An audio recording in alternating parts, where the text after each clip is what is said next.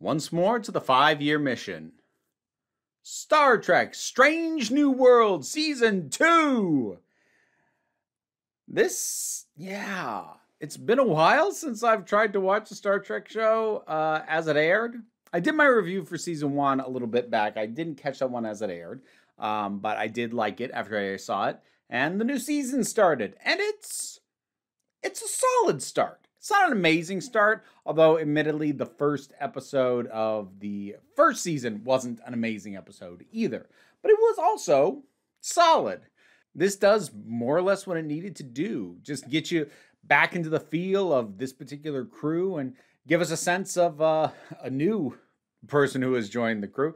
So I had wondered the obvious thing would have been so spoiler for the previous season uh, their head engineer died, which I actually didn't love. I really liked that character, um, so I, I didn't love that they killed him. My assumption was that they were going to bring in Scotty. Because obviously, as a prequel to the original series of Star Trek, that's who was the head engineer during that. So that would make sense to a certain degree if if the show were to accumulate more of the uh, crew that Kirk commanded over time. So that seemed logical. Nope, that's uh, that's not what's going on. So we got Carol Kane. That works. if if you're gonna remove a character that I like, replacing them with Carol Kane, yeah, yeah. There's also just some interesting oddness to her uh species. I forget what they say what it was. Now, I don't know if this species is pre-existing in Star Trek or if this is a new thing because there's a lot of Star Trek I've like I do consider myself a fan of Star Trek, but I am I like I'm not even close to having seen all of it. Um so and there's a lot I don't know. But I'm really kind of intrigued by her. So, uh she looks human. Uh which probably partially owing to the idea that she probably didn't want to be putting a ton of makeup. Uh, but she's from a species that has an extremely long lifespan that actually was living on Earth undetected for a very, very long time. So, like, imagine if Highlanders didn't have to, didn't feel compelled to kill each other. That's that seems to be kind of what's going on with them. And I, I, I'm hoping this phrasing wasn't accidental. I kind of hope they do something with this. She mentions to Spock, "Your mother was the first human I came out to," basically as this, you know, this species not the same as humans, but obviously living among them. I'm like, there's allegorical places you could take that if you're going to use a phrase like coming out. I'll be keeping an eye on it to see if A, it comes back, uh, and B, if they do good things with it as opposed to mess it up. But at the very least, it's Carol Kane, so that'll take the sting off it a little bit regardless. Very little Pike uh, in this one, which, I mean, I suppose that works. Um, and it's not like he wouldn't have done uh, what the remaining crew does. So it's not like they had to remove him to to facilitate the plot. But I think um, giving most of the rest of the cast like a good solid focus, um, and with him literally absent, you don't get the question of wait, why aren't we focusing on the captain? Well, he's busy.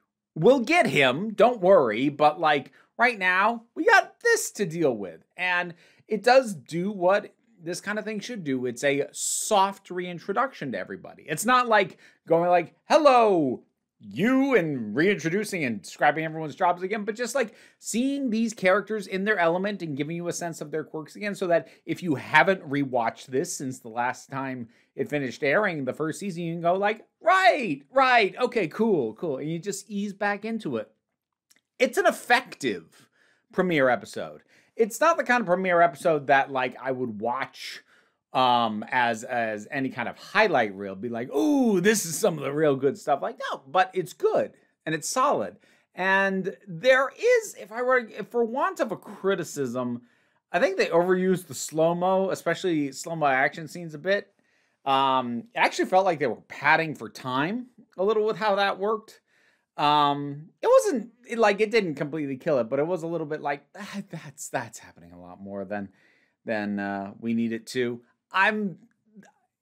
It's impressive to me how at ease I am with this Spock at this point. He's really slipped into it quite well. Um, and you'll have to forgive me because a lot of the names are not sticking in my head right now. Like some of them I could tell you, like Nurse Chapel, although the. Oh, you know, as much as I do like this actor as Spock, could we stop with Spock's love life? I feel like post Leonard Nimoy, there's been a weird kind of obsession with Spock's love life.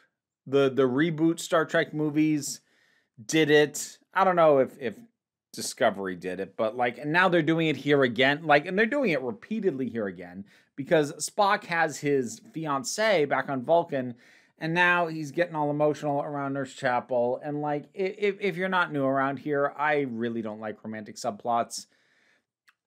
I'm not. I'm not gonna say I never like a romantic angle to things, but like, it's not what I'm here for. It's not what I like Spock for. And to whatever degree it can be done interestingly, I think it's already been done. I don't need more of it. So. it it doesn't do anything awful in this episode, but it does feel like, oh, that's going to be a thorn in my side, isn't it? Well, shoot. Um, and uh, we we get some time with the Klingons. It's nice to see just the Klingons chugging some blood wine. I'm down for that. I appreciate that. And um, you know, it's it's they the crew rescue somebody, it foils a plot. It's there's there's some space battle shenanigans. It's it's setting the groundwork again. This is a very foundational kind of episode. It's it's sort of a restatement of purpose. This is what we're here to do. We're here to have space adventures with these characters. Here's most of the characters again. Here's the kind of adventure we're going to have. We're not giving you the best of the best right off the bat, but we're setting your expectations. Here's a sample. Cool. It's probably going to end up being a short episode, uh, short episode, short review on my part because, like, I don't, I ultimately don't feel like there's that much to really talk about and dig into um, with this particular episode. But I smiled. I smiled seeing these characters again, seeing the interactions, seeing the ship, hearing the music. It's a good time. I, I'm, I have hopes. I have little doubt that uh, episodes will get better from here because as i said first episode of the first season is also a very foundational episode but this was solid this works i am excited to see what comes next star trek strange new worlds premiere episode of season 2 i ultimately didn't have that much to say about it but i am still excited to see more and to talk about it as it airs what did you think of this? Whatever your thoughts are, drop something down in the comments. Let's talk about it. Patreon pays the bills and enables me to do this as my living. Even if you can't help me out that way, there's links to other things down in the description that I do, uh, other platforms you can support me on, or just check out what I spend my time doing. But uh, don't worry too much about it. We take a relaxed attitude around here so you can come on back next time you need a break. Massive thanks to my Patreon supporters, and in particular, I want to thank Robin Moore, Zubin Lutfullah, Tarak, the thing that goes doink in the anime, Ruth, Oliver B., Solitary Pictures, Ulrich Bogdan, Melinda Walters, Jen, Leotha Boyd, Auntie Kate 808, Becky Sparks, Fernabilax the Poodle, Robin Powell, Tracy Scrabbit, Angry Caspero, Adam R.D.L. Taylor, David Hall, Shayla Gourlay, and Rosalind Bennett. Thanks for your support. You can get your name in the credits too if you feel like hearing me possibly struggle with it for several times before getting it right.